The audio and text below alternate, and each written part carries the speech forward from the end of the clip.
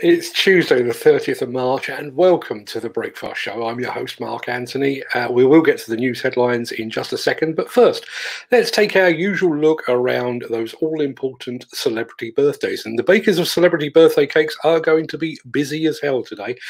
Uh, it's many happy returns to guitarist Eric Clapton, to actor Robbie Coltrane, singer Celine Dion, rapper MC Hammer, and to Real Madrid captain Sergio Ramos a man with an impressive collection of red cards. So happy birthday to one and all. I know they'll be tuning in. Uh, we'll be right back after this. If you enjoyed this show, please consider supporting us. Go to buymeacoffee.com forward slash demolition news.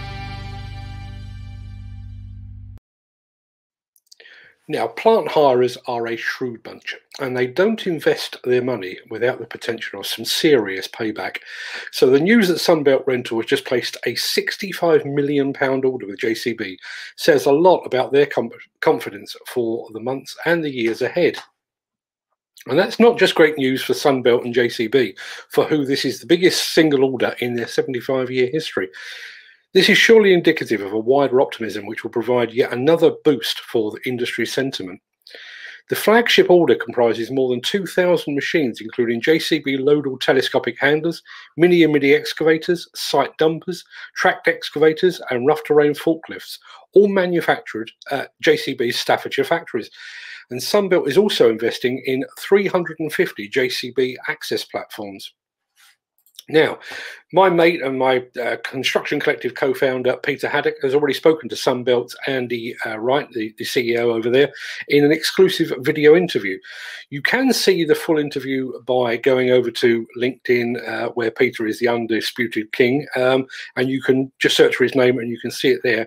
Um, and we have added a quick link to it in our extended show notes as well. Um, but here's a very quick look at what uh, both Peter and Andy Wright have to say and I've got Andy Wright uh, on the Zoom today with me. Andy, big deal. Tell me all about it, please. We've entered into an arrangement with JCB to tune of 65 million pounds across a number of product ranges from now through the rest of this year through to September. We've invested heavily in dumpers, excavators, telehandlers, generators, and powered access. And, you know, what's behind this? Well, we have made no bones about it. Our vision is to own the future rental. Our mission is to deliver a world class rental experience. And in doing that, you need the best kit to do that. So, massive congratulations to both JCB and to Sunbelt Rentals on this mammoth order. That really is very, very significant. And hats off also to uh, to Peter Haddock for getting this interview in the can so quickly. I guess that's what you can do when you're one of the most connected people in the industry. Now, from one equipment manufacturer to another, uh, Liebherr Great Britain set tongues wagging last night with the news that it is about to selling to, to start selling used parts. But that headline is somewhat misleading. Now, it is true that Liebherr Great Britain has launched a website offering customers thousands of parts at, use, uh, at reduced prices. The site, which you can find at liebherr-parts.co.uk, is exclusive to UK customers and lists a, lists a comprehensive range of surplus and spare parts for earth moving and materials handling machines. Uh, parts for cranes and piling rigs are not included. Even so, the term used, and I'm going to do it in, in inverted commas, is a misnomer. Uh, these parts could be simply excess stock items or parts that have been removed from new or very low hour machines, says Richard G., General Manager of Earthmoving After Sales at Liebherr Great Britain. Liebherr prides itself on its ability to customize products specifically to match customer requirements, and this sometimes results in standard parts being removed from new machines. The good news for UK customers is that these unused surplus items can be bought at re reduced prices good news indeed. Uh, Liebherr Great Britain reports that the inventory of buckets, grabs, tyres, undercarriage, sticks, booms, pumps, rams, cylinders, and handrails will be updated daily. So that web address again, when I can find it, is uh, liebherr-parts.co.uk. Now, it's time for this.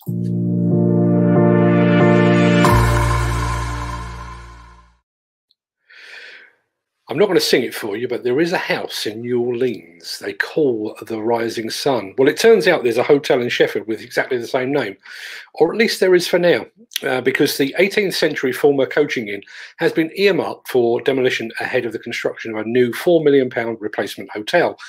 The architects on the project is uh, Peak Architects, and Harris CM is thought to be in the running for the new build portion of the works. But a demolition contractor has yet to be appointed. You can find out more about this project lead and hundreds more just like it over at buildersconference.co.uk. If you were here yesterday, you will know that we unveiled our new extended show notes, and I'm very pleased to say that they appear to have gone down very, very well because we had lots of people downloading them yesterday. Uh, but start just in case you missed it. Starting yesterday, each show is accompanied now by detailed show notes containing the written contents for each show, uh, together with photographs, external links, and any anything else we care to throw in there as well. Um, these notes are added immediately after each show ends, so if you're watching live, you can check back in a few minutes and you'll find them there. But if you're watching this on YouTube or Instagram, um, or if you're listening to the audio version a bit later today, then the show notes will already be there.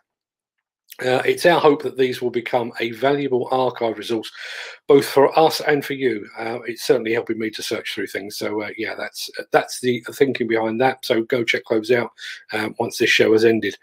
And finally, we, we had a phone call yesterday uh, from a regular viewer who has suggested that we add a phone-in element to this show. Now I've checked with the platform provider, and a live phone-in is not currently possible using the uh, the system that I use. However we do have a workaround. Um, if you would like to record a video or an audio message on your mobile phone and forward it to us, um, we can include it here and then respond accordingly.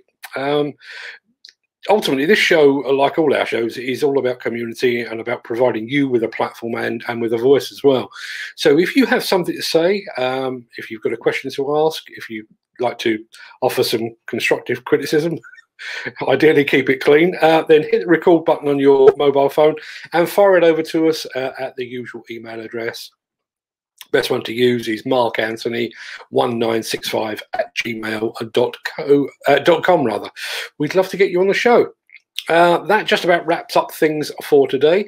Uh, just as soon as I've knocked today's show notes into shape, I am going to be heading over to take a look around uh, the Hillhead Digital event, uh, which doesn't require me to go all the way to Buxton, which is kind of a relief.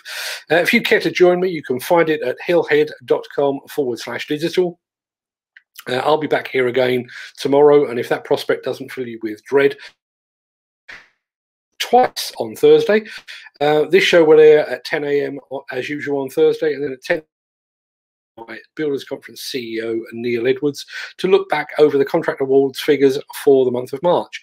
So make sure to join us at 10:30 on Thursday for what promises to be one very upbeat show indeed. In the meantime, have a great day. Um, we hope to see you over at the uh, Hillhead Digital uh, event, uh, and I'll see you again tomorrow. Same time, same place and the same ever evolving content. Thanks for joining us, and I'll see you all again